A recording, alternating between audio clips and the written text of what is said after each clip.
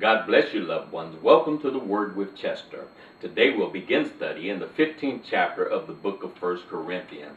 God bless each of you. I'm so glad that you're logging on. Thank God for that wonderful thumbs up that I'm getting from so many of you uh, on the internet. Thank God for our Facebook friends, our Twitter friends, and also our MySpace friends, and uh, our friends at LinkedIn. Uh, we have friends, uh, uh, well, in many places on the internet. We are on one called Stumbled Upon, and people just happen upon us. I want you to know that I am so happy for you, and I am glad that you're taking up your valuable time to let me know that you are watching. I also received uh, uh, inquiries on my uh, website. I want you to know I appreciate those. I would that you leave me your name or and your email address so that I can get back with you. If nothing else, just to say that thank you, that I thank you for watching this ministry. I love you with the love of the Lord, and keep on sending me uh, news that you are watching. Shall we go to the Bible? We're going to begin reading verse 1, chapter 15,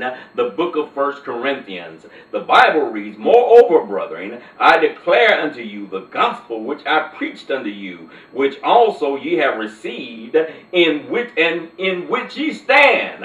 We have to know what the gospel is. The gospel is good news uh, and glad tidings. Apostle Paul said, I preached it unto you, and you received it, uh, and you stand on that gospel. Verse 2 reads, By which also ye are saved, if ye keep in memory what I've uh, I preached unto you, unless ye have believed in vain. Keep in memory what I preached unto you. Uh, you know the the word of God is going out uh, is going out now over the internet. You're hearing me uh, via the internet. Uh, it's also going out over the television, going out over radio, going out over many mediums. And I want you to know, well, it's even at your local churches, churches throughout your communities, worldwide, all over the world there's a church open and the Word of God is going forth. Uh, you can hear it on Sunday morning, go back and hear it on Wednesday, and then go home and turn on your TV and hear it. Uh, then click on the internet and hear it. So, so the Word of God is going out, uh, going out. Uh, but you have to keep in memory what you hear. Uh, if it goes, my mother used to say, don't let things go in one ear and right out of the other. Uh, you want to hear it and take it in. keep in memory the things that you learn Uh, Apostle Paul said, Keep in memory what I preached unto you, lest ye have believed in vain. Uh, what is he saying? Uh, if you hear it and, and don't, uh, don't remember it or, or forget about it or just put it on the shelf somewhere and don't keep it in practice and don't even, don't even uh, uh, live the life daily or recognize our Lord daily, all of it is in vain. So Apostle Paul says, Don't get in that condition.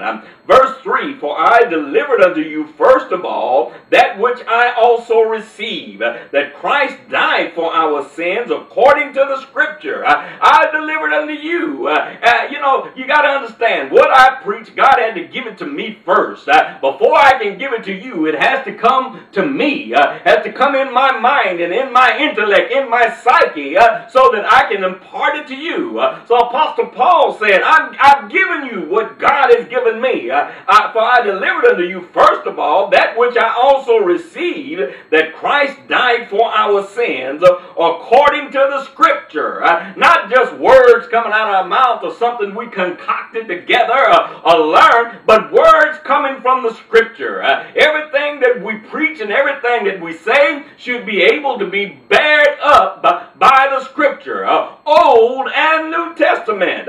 If we preach to, to you things that, that really we couldn't substantiate in the Bible, uh, our teaching is in vain. Uh, in vain. Why? Because it stands out there alone. Uh, what we teach you, what we preach to you, we should also always, always uh, be able to find what we preach uh, and prove what we say by the Word of God. Uh, verse 4 reads, And that he was uh, and that he was buried. We're talking about Jesus. Uh, the Christ uh, was buried, uh, and that he rose again the third day according to the scripture. Uh, believe me, that's the gospel. Uh, you have to believe that Jesus died for your sins.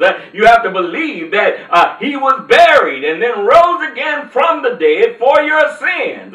if thou can uh, if thou wilt confess with your mouth the Lord Jesus uh, and believe in thine heart that God raised him from the dead, thou shalt be saved. This is a this is a essential essential for you being saved. You need to know and you need to believe that Christ died and rose the third day according to uh, to the scripture, what the Bible said.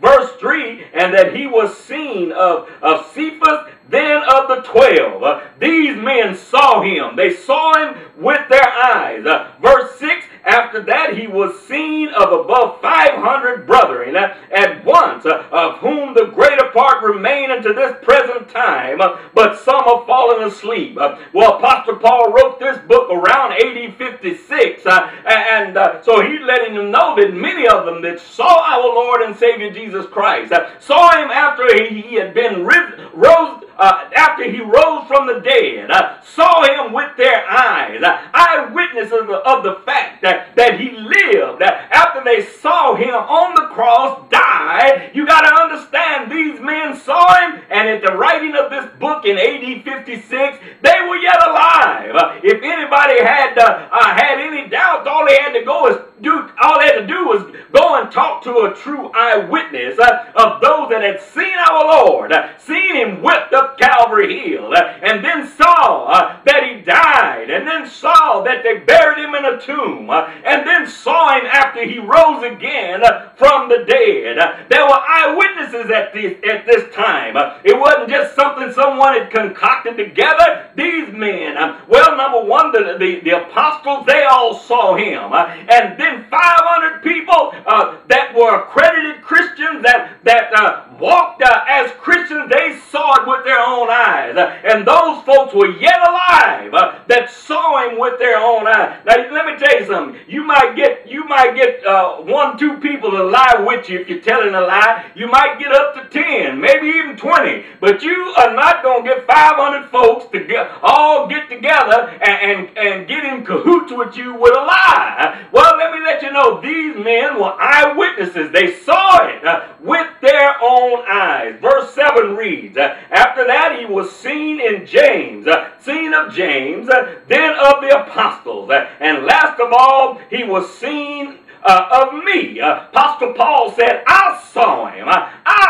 saw him uh, as uh, of one born out of due time. Uh, keep, keep in mind that Apostle Paul, when Jesus uh, was uh, walking this earth, uh, he was just a small young young fellow, a young lad running around. he was born out of due, time.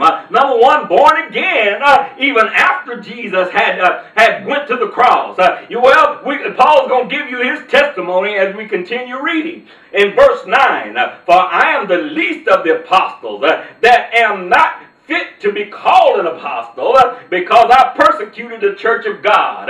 Well, let me let you know, Apostle Paul was harder on himself uh, than, than uh, uh, other people are. He said, I'm not even fit to be called an apostle. Uh, why? Because his testimony, he, he persecuted the church. he persecuted the people of God. you know yourself, when he was on, en route to Damascus, he had a letter in his hand that anyone called, that would call on the name of the Lord Jesus, uh, anyone professing to be a, Christian, uh, he could have them locked up, have them bound. Uh, he's that same one that held the coats when, when they stoned, De- uh, stoned uh, Stephen to death. Uh, well, get this picture. Apostle Paul said, I am not even fit to be called an apostle because I persecuted the church of God. And he did. but, that, but you know what? that same church that he persecuted, they received him after they got the news that, that Saul had been born again. Uh, and that lets you know that, that God can save anyone. Uh, God can deliver anyone. All they have to do is say yes to his will. Uh, well, shall we read in verse 10? But by the grace of God, I am what I am, and His grace, uh, which was bestowed upon me, uh, was not in vain, uh, but I labored more abundantly than they all. Yet not I, but the grace of God, which was with me. Apostle Paul said it. I'm not worthy to be called an apostle, but you know what? I am what I am. God saved me, and I labored more than all of them. After God did a work in me, uh, after God changed my heart. Uh, you got to understand, all of us got some past. Uh, don't you fool yourself. Some of us got some pretty squeaky past. Uh, but God is able to take that past uh, and wash your sins away uh, and then set you on a road to where you can do a work for Him. If He's done it for Apostle Paul, He can do it for you. Let me let you know this. If He did it for me, He can do it for you. Well, He can save anyone. Well, uh, let me just read that to you. Uh, verse 10 But by the grace of God, I am what I am, and His grace, which is bestowed upon me, was not, not in vain, but I labored more abundantly than they all. Yet not I, but the grace of God which was with me. Shall we read verse 11? Um, Therefore, whether it were I or they, so we preached uh, and so we believed. Uh, you got to understand, though, the, the power of God had Paul, uh, and he was able to go places where the others did not go. Uh, no, we never take from the work that the other apostles did. They played an important roles in the work of God. but you have to understand the energy that Paul had when God saved him. that same energy that he used to persecute the, ch- the church, uh, to persecute the people of God. He started using it uh, for the kingdom of God. And don't you know because of what he did, or what God had did through him by his grace, don't you know more people came to Jesus? the way to the Gentiles was open.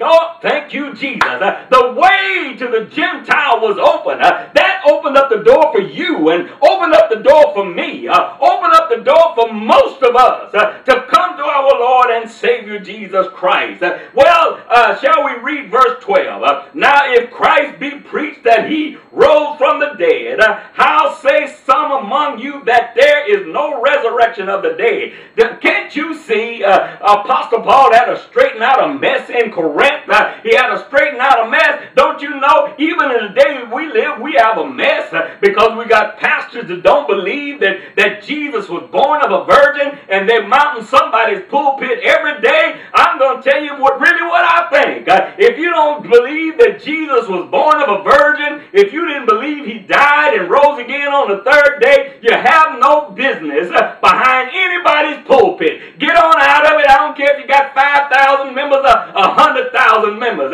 If you're not preaching the truth, if you're not preaching the gospel of Jesus Christ, I'm talking about the death, burial, and resurrection if you don't believe he was born of a virgin, you don't need to be behind the pulpit. I can't say that loud enough. Get out of that large church. I'll take and preach the gospel to those people. Come on here now. Come out of here, devil. I know you felt that one.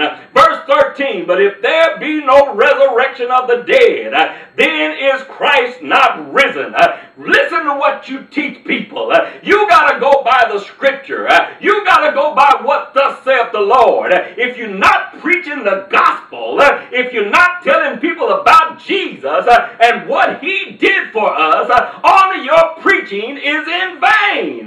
Well, on. And if Christ be not risen, then is our preaching in vain. Our, our preaching vain. And your faith is also vain. Even your faith is for nothing. If we don't believe in the resurrection, if we don't believe that Jesus was, was raised from the dead, then your preaching is in vain, and then uh, your, your belief in Christ, your faith, uh, is in vain. Uh, shall we read verse 15? I'm going to read a few more verses, and then we will conclude for this day. Uh, yea, uh, and we are found false witnesses of God if there was no resurrection, uh, because we have testified of God that He raised up Christ, uh, who is raised not uh, um, so uh, whom he raised not up. Now, if he wasn't raised up, you got to get the mentality of what Paul is saying. If so be that the, the dead rise not, all of our preaching is in vain. That's what he's telling us. I'll reread verse 15 for clarification. Uh, Yea, and we are found false witnesses of God, uh, if what you say is true, uh, because we have testified of God that he raised up Christ, whom he raised not up, if that's what you say. If what you say is true, if so be that the dead rise not. Shall we continue reading? Verse 16. Uh, For if the dead rise not, then is not Christ raised. Remember what you're teaching. Keep in mind what you're teaching. If it don't bear witness with the resurrection of Christ, then you got a problem. You are teaching the wrong thing. Verse 17. uh, And if Christ be not raised, your faith is vain. Ye are yet in your sin. Get that. If Christ was not raised from the dead, you're yet in your sins. You haven't been delivered. You haven't been saved. So you got to know that Christ was raised from the dead in order to know that you are saved from your sin. Shall we read verse 18? Uh, Then they who uh, they also who are false witnesses uh, are fallen asleep. Let me read it. Uh, then they uh, also who are fallen asleep in Christ are perished. Uh, the ones that are already dead that profess Christ, uh, if there was no resurrection of the dead, uh, those folks perished. What do you mean? They went to hell. Uh, well, uh, let me continue reading. Um, if in this life only we have hope in Christ, uh, we are all men most miserable. Let me read it again. If in this life only we have hope in Christ, we are all men most miserable. Well, Apostle Paul was rebuking them uh, because some was saying that there was no resurrection. Uh, Apostle Paul had to deal with them. Uh, you're preaching Christ and and and, uh, and have that theology. What is wrong with you? Uh, don't you know if we don't have that hope that Christ died and rose again, uh, all of us are most miserable. Why? Because all of us are going to perish. All of us are going to go to hell. Well, I'm going to open this up further in our next session. We'll start uh, verse 20 in our next session. This is important. Uh, watch what you teach people. Uh, make sure it bears up with the scripture. You have to believe that Jesus died for your sins. Uh, that yes, they laid him in the tomb. Yes, he was he was laid there, and on the third day he was resurrected from the dead. You have to believe that in order to be saved. Get that over to everybody in the world. They need Jesus, and they have to believe in the resurrection if they want to be saved. I want you to know that I love you, my dears. I love you with the love of the Lord. If you would like to contact me for any reason, you can reach me at the Word with Chester Ministries, Post Office Box 200483, uh, San Antonio, Texas, uh, 78220. Uh, you can also reach me at my website, uh, www.poemsbychester.com. Uh, remember, I love you, my friends. Uh, I love you with the love of the Lord. Uh, God bless you.